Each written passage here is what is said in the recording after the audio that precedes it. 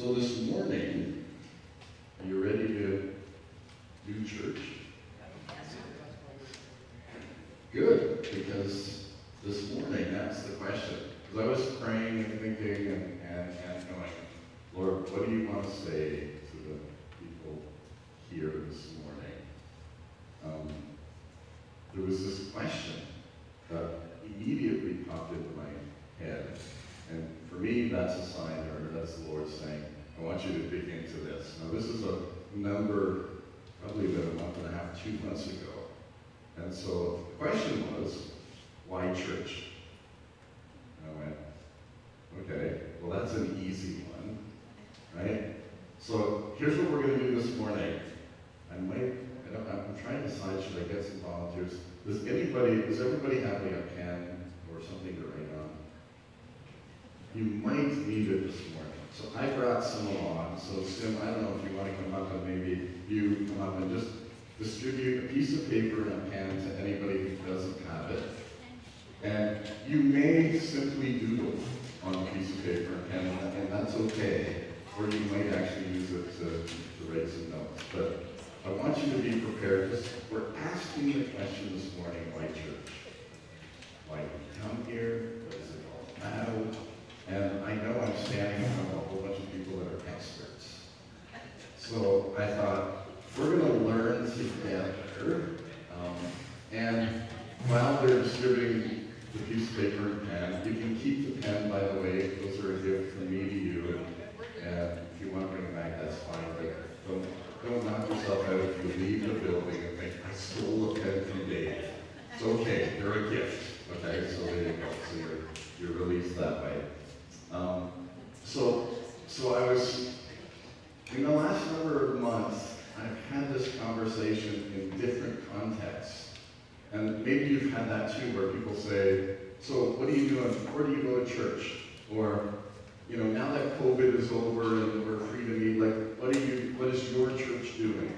Or are you meeting in a church? Or, you know, those kind of questions. So, um, anybody had that, had those conversations yet? No, just me. Okay, well, that's fine. So, the, the conversation has just kept coming up for me. And uh, I was sitting down next to someone that I appreciate immensely this week, and that question came up again. And I, you know, they had said, oh, during COVID, we went online and we watched a whole bunch of different stuff, but now we're feeling like, well, we're just thinking about what we really want to get out of church. Um, and one of the questions, and I want you to think about this, during COVID, what was the biggest thing that you missed about church? What was the biggest thing that, you know, when you thought of church, you went, boy, I missed that. Okay, so maybe you want to write that down. We're going to circle back around later. But why church?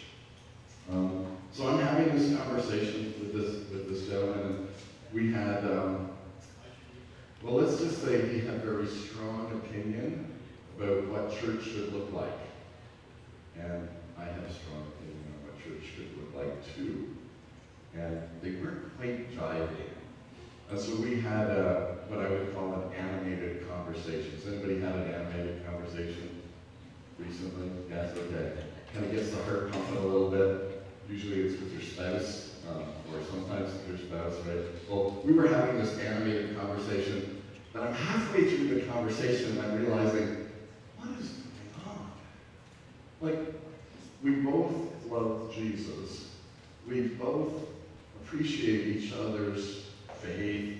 And yet here we are having this animated conversation about kind of what church should look like. Post-COVID, pre-COVID, post-war, like, you know. And so I said, okay, so I came away from the conversation going, oh, this is another, I'm going to say peace as the Lord speaks to me. And as I was digging into Scripture, getting really clear about what does Scripture say about the, uh, the uh, course, you know, having that conversation really kind of brought it to the forefront that we don't want to really argue about it, do we? We don't want to have those animated conversations.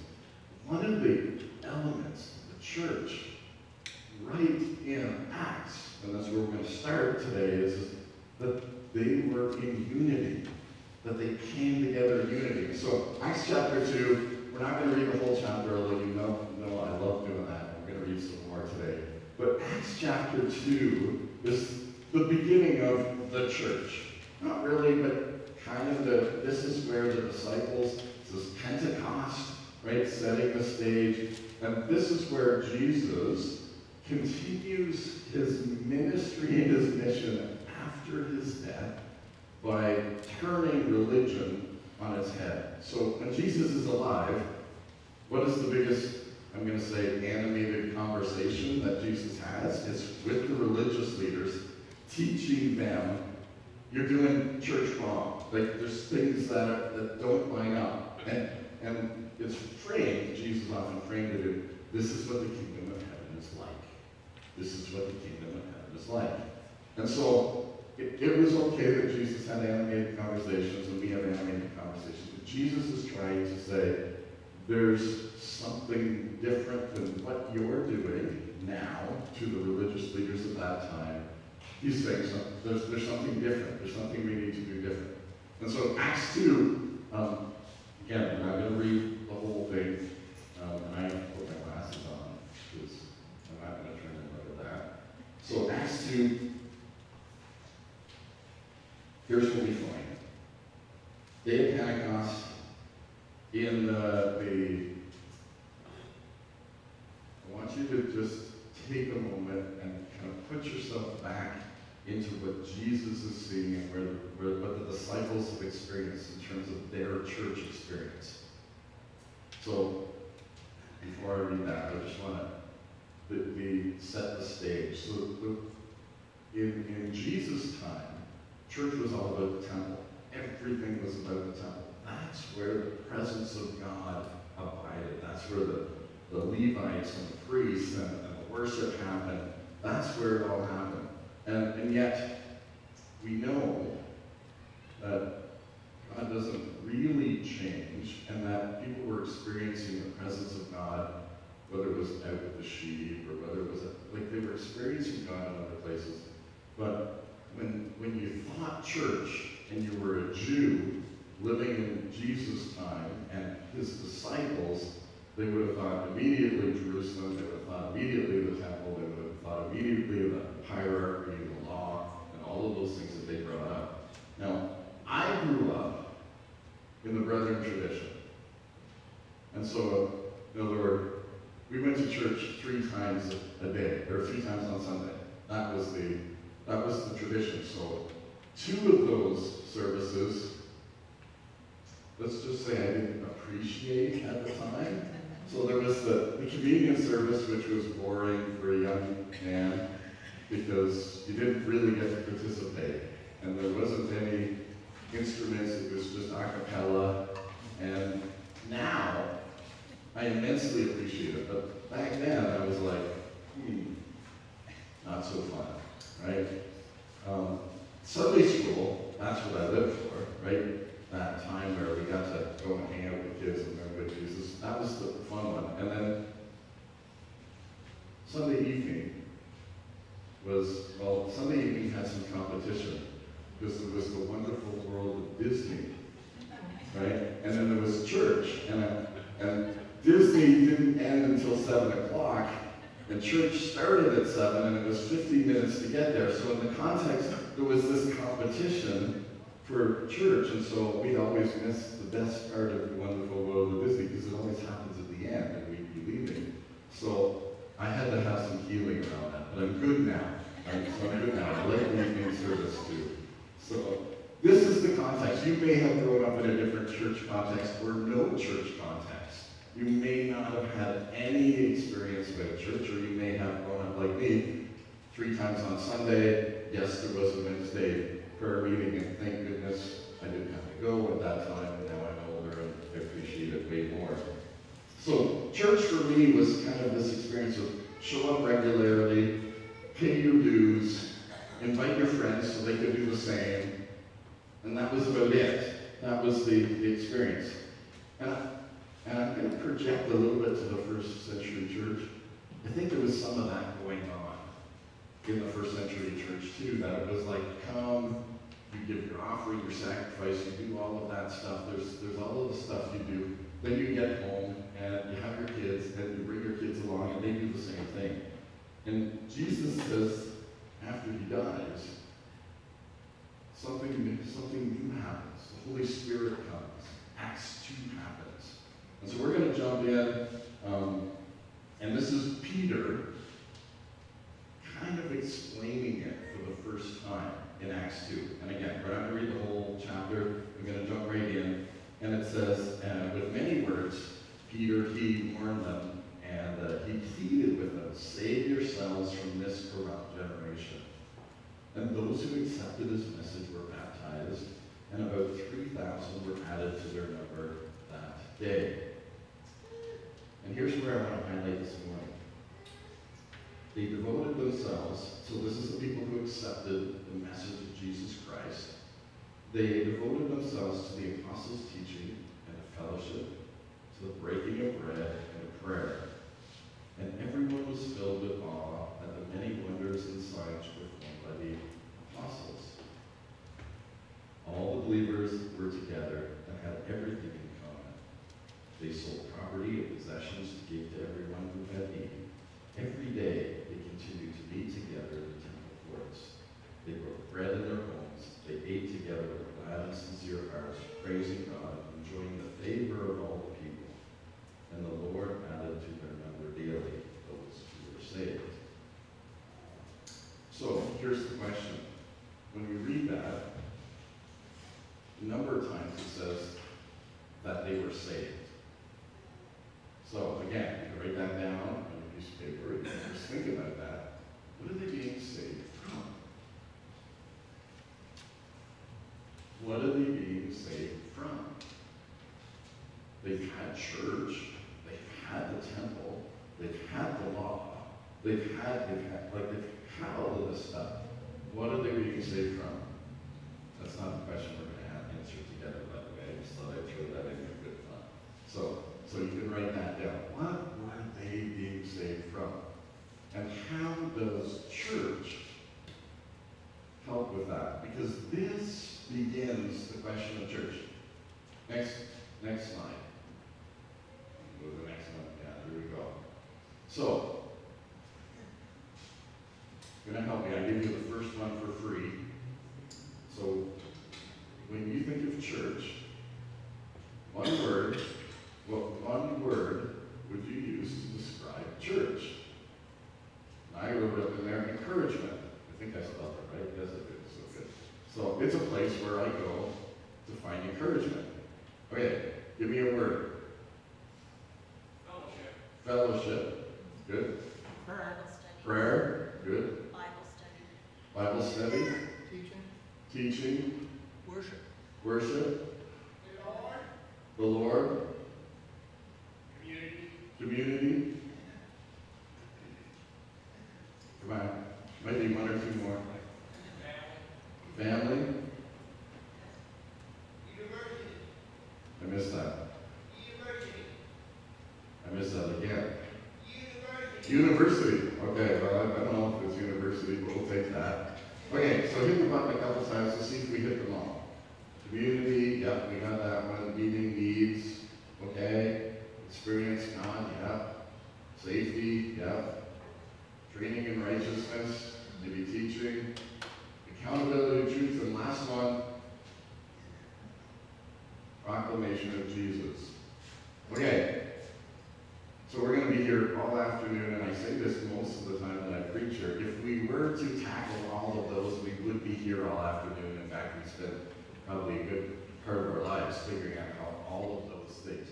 Those are the ones that I actually found scripture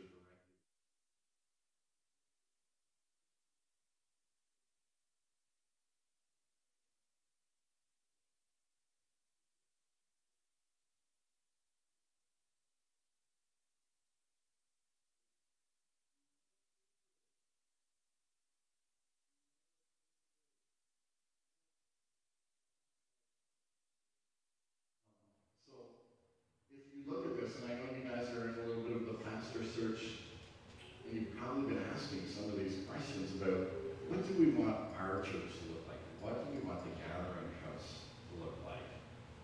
And, and I'm going to encourage, challenge for you leaders that are here, if it doesn't have all of these elements, then we want to incorporate some of those elements. We want to bring them in, right?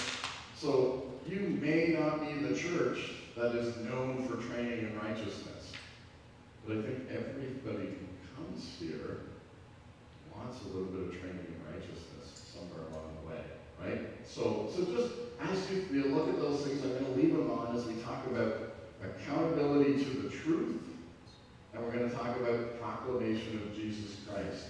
Because these two are the core. These two are the, like if there's pillars that you, every church that proclaims the name of Jesus Christ needs to have those two, in my search of the scriptures, seem to be highest priority. So let's look at that. So because I love reading the scripture, Matthew chapter 16, if you've got your Bible.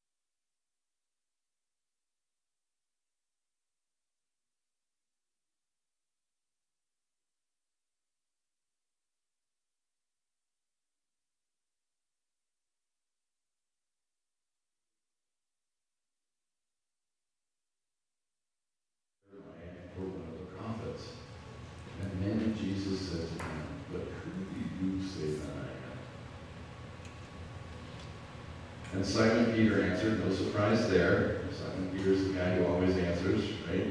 Simon Peter answered and he said, You are the Christ, the Son of the living God. And Jesus answered and said to him, Blessed are you, Simon Barjona, for flesh and blood have not revealed this to you, but my Father who is in heaven. And also I say to you that you are Peter, and on this rock I will build my church, and the gates, and the gates, oops, and the gates of Hades shall not prevail against it, and I will give you the keys of the kingdom of heaven, and whatever you bind on earth will be bound in heaven, and whatever you loose on earth will be loosed in heaven. For then he commanded his disciples that they should tell no one that he was the Christ. I'm going to pause there because some people interpret that scripture and say that Christ is going to build his church on Peter. And I just want to make it really clear that's not what Jesus is saying here. What Jesus is saying here is that he's building his church on the declaration that Peter made. And what was that declaration? You are the Christ, the Son of the living God. The declaration that Peter, Peter did a lot to establish the early church, no doubt about it.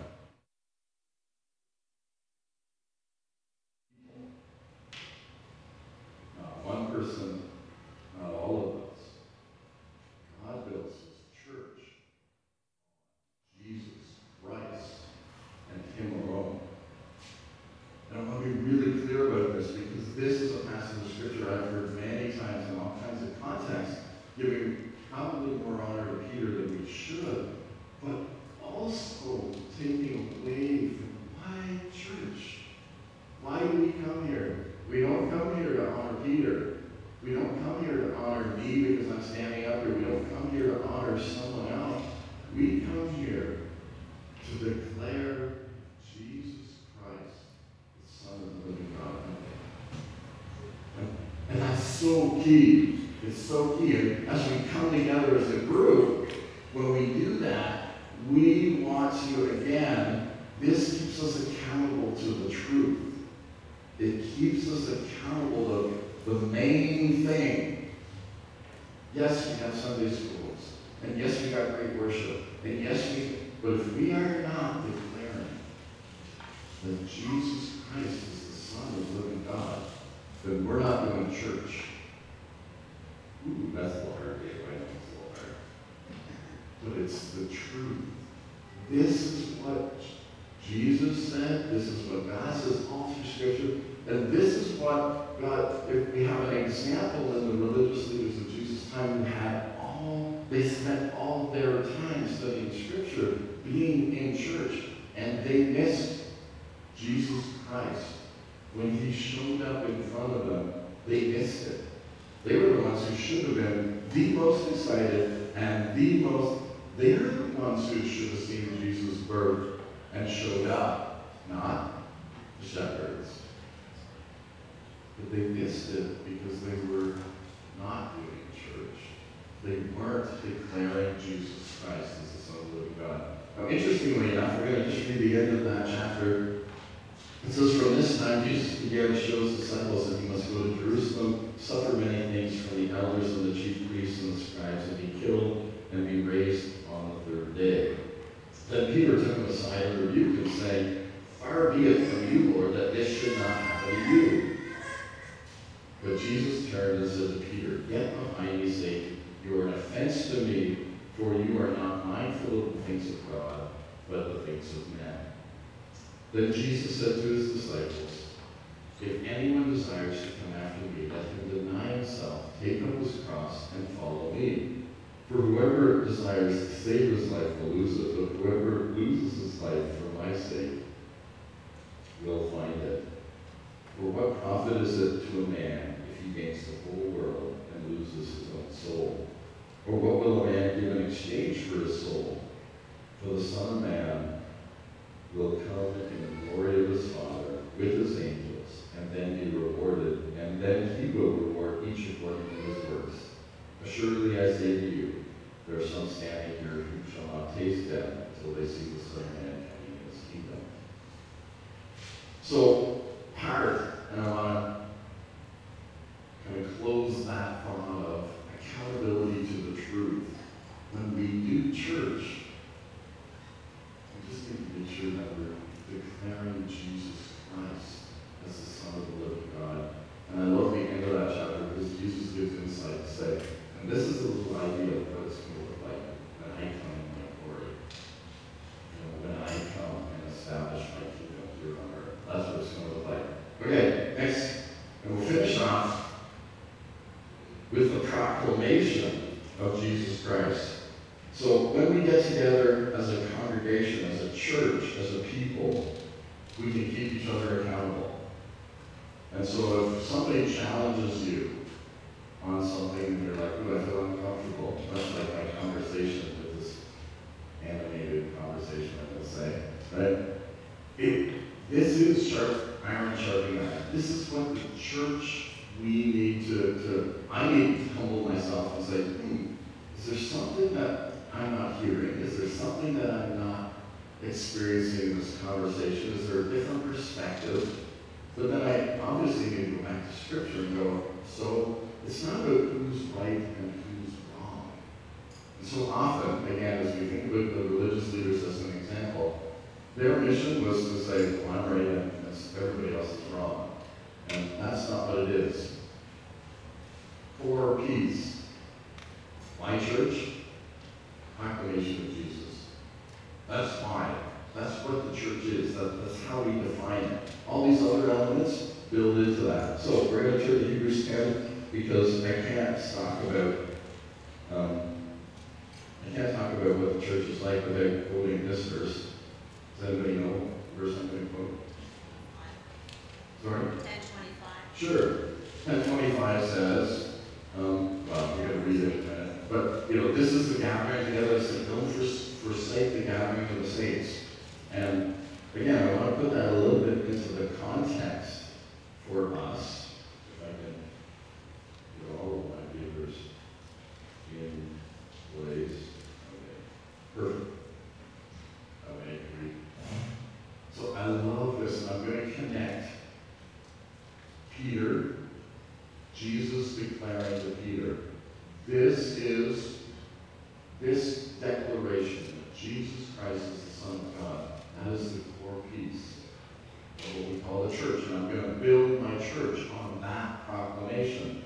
And then the writer in Hebrews is now writing to Jewish people who have great context for what church is supposed to look like. They know how many steps they're allowed to make on Sunday. They know uh, what feasts and festivals. They know what I get to bring a dove for this, and if I've got a sin offering, I can do this. And so they have great context for church. They've had hundreds and hundreds of years to figure it out. And then the writer of Hebrews comes in, and he says this. And I don't think I can, if I can get you just to, to imagine that you're Jewish. can we do that? Imagine you're Jewish. You've grown up learning the Torah. You've grown up uh, seeing church. You've made the so so, so you're so you, you think you know what church looks like. And then you've experienced Jesus Christ and you've said, okay, there's something about this Jesus character. And then you hear the writer of the Hebrews writing this. And he says, For the law, having a shadow of the good things to come, and not the very image of the things, can never with the can never with these same sacrifices, which they offer continually year out over year, make those who approach perfect.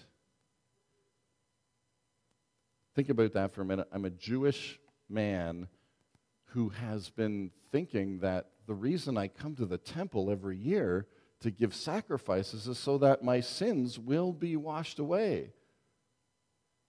And the writer of the Hebrews is saying, no, no, no, no. It's not, that's not really the way that it works. Um, you'll never be perfect. For then, uh, then would they not have ceased to be offered? For the worshippers, once purified, would have no more consciousness, consciousness of sin. But in those sacrifices, a reminder of sins every year. For it is not possible that the blood of bulls and goats take away any sins. Therefore, when Jesus came into the world, he said, Sacrifice and offering you do not desire, but a body you have prepared for me. In burnt offerings and sacrifices for sin you have no pleasure. Then I said, Behold, I've come. In the volume of the book it is, is written of me to do your will, O God. Previously saying, and, saying, sacrifices and offerings and burnt offerings and offerings for sin you did not desire or had pleasure with them, and now the writer's quoting the Old Testament, um, which are offered according to the law. Then he said, Behold, I've come to do your will, O God. He takes away the first, that he may establish the second. By that will, we have been sanctified through the offering of the body of Jesus Christ once for all. And every priest stands ministering daily and offering repeatedly the same sacrifices, which can never take away sins. But this man, after he had offered one sacrifice for sins forever, sat down at the right hand of God. From that time, waiting till his enemies are made a footstool. For by one offering he has perfected forever those who are being sanctified. But the Holy Spirit also witnesses to us, for after he has said before, This is the covenant that I will make with them after those days, says the Lord. I will put my laws into their hearts, and in their minds I will write them. Then he adds, Their sins and their lawless deeds I will remember no more. Now, where there is remission of these, there is no longer an offering for sin. Therefore, brethren, having boldness to enter the holies by the blood of Jesus Christ, by a new and living way which he consecrated for us through the veil, that is his flesh, having a high priest over the house of God. Let us draw near with a true heart in full assurance of faith, having our hearts sprinkled from an evil conscience and our bodies washed with pure water. Let us hold fast to the confession of our hope without wavering, for he who has promised is faithful.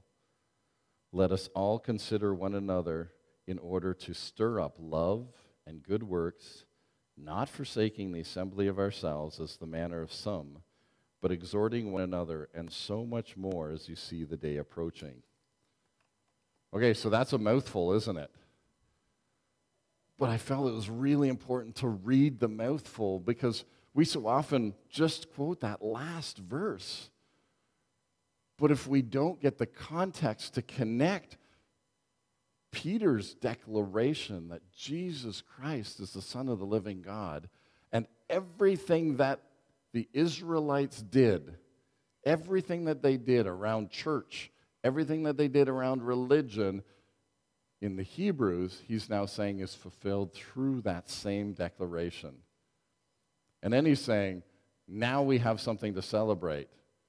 Because we actually, and again, foreign concept for a Jewish man to dare enter the Holy of Holies. We get to enter into the presence of God through the power of the Holy Spirit and the work of Jesus Christ on the cross. We get to do that, you and I. But if we were Jewish, I'm going to say maybe only one person out of this room might have decided to become a priest and got to experience that, right? To go into the Holy of Holies where the presence of God was. Why church? We get to celebrate that, don't we? Tell me this is exciting for you as, as for me as I'm reading this. As we do that, then all these other things flow out. Back in the, uh, when we go back to the Acts, we read one of the crazy things that happens was there were miracles, like crazy miracles that were still going on. That was the outflowing of the the declaration of Jesus Christ being the Son of God. That was the Holy Spirit at work. That's what the writer of the Hebrews is talking about when he says, okay, now we've got the Holy Spirit to lead you into all truth, to empower you. That's one outward manifestation that the church gets to do. It's a joy to see. The other is, uh, uh, hit the next button. I think I put them up there. Hey, look at that. Ooh. I love it when the PowerPoint works, right? Encouragement. When we get together, does this not change?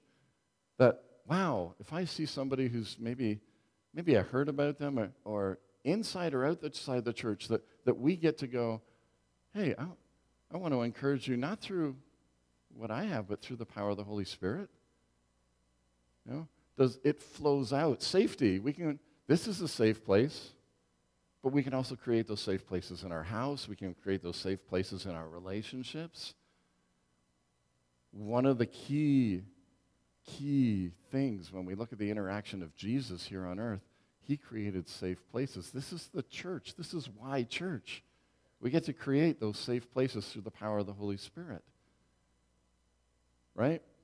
Training in righteousness, accountability to truth, community, experiencing God, meeting needs. All of these things are an outflow of that one pillar that Peter said that this is the Christ, the Son of the living God.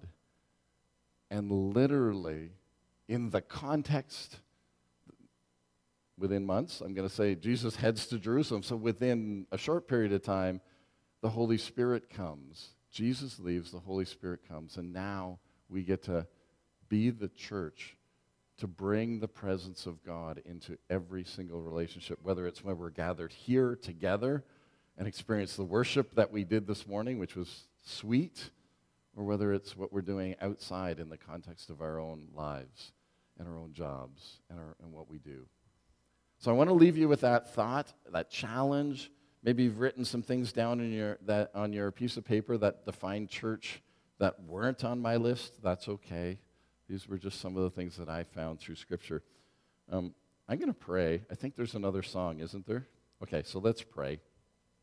Lord, again, what a gift it is to be able to come into your presence through the power and the work of the cross of Jesus Christ. And Lord, I pray that today, as we fill ourselves up together with worship, with the word, with what you, what, what you want to plant in our hearts, that, Lord, as we leave here, that, uh, that declaration, the same declaration that came out of Peter's mouth through the unction of the Holy Spirit would be on our lips and in our hearts and minister and meet the people that we can rub shoulders with that need, so desperately need, to be saved. And so, Lord, we thank you for that. We give you glory and honor in Christ's name. Amen.